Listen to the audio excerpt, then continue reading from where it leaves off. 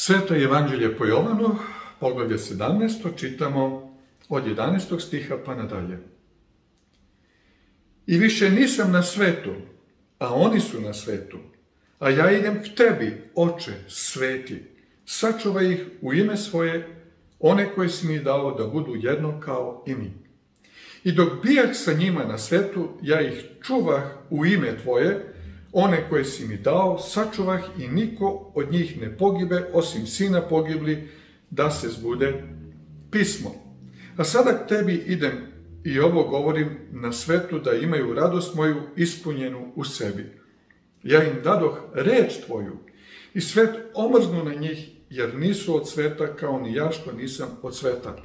Ne molim te da ih uzmeš sa sveta, nego da ih sačuvaš od zla, od sveta nisu kao ni ja što nisam od sveta, osvete ih istinom svojom, reč je tvoja istina. Ovdje dakle vidimo da Hristos tu, tu duboku misiju koju ima, misiju spasenja, tu najdublju teologiju spasenja, sada iznosi u svojoj pravosvešteničkoj molitvi. Kaže, dok sam bio na svetu, ja ih sačuvah u ime Tvoje, one koje si mi dao da sačuvam i niko ih ne pogibe osim sina pogibli, tu je reč zapravo kasnije ono što se desilo sa judom. A sada k tebi idem i ovo, ovo govorim na svetu da imaju radost moju ispunjenu u tebi. I ono što je važno razumeti, a to je da ljudi koji veruju u Boga, hrišćani koji su prihvatili Hrista, njihova radost može da bude ispunjena jedino u Bogu, u Hristu. Ja im dadoh reč tvoju i to je ono što nas drži u životu i svet omrznu na njih. Zbog čega? Zbog reči Božje. Jer nisu od sveta kao ni ja što nisam od sveta.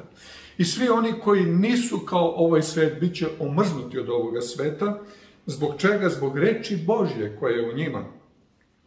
Ne molim te da ih uzmeš sa sveta, nego da ih sačuvaš od zla. Ne da ih uzmeš, nego da ih sačuvaš. Od sveta nisu kao ni ja što nisam od sveta, osveti ih istinom svojom, reč je tvoja istina. I zato i delim svetu Božju reč, zato što je to istina. Osveti ih istinom svojom, reč je tvoja istina i Božja reč je istina, moćna, neprikosnovena, jedina istina i samo istina.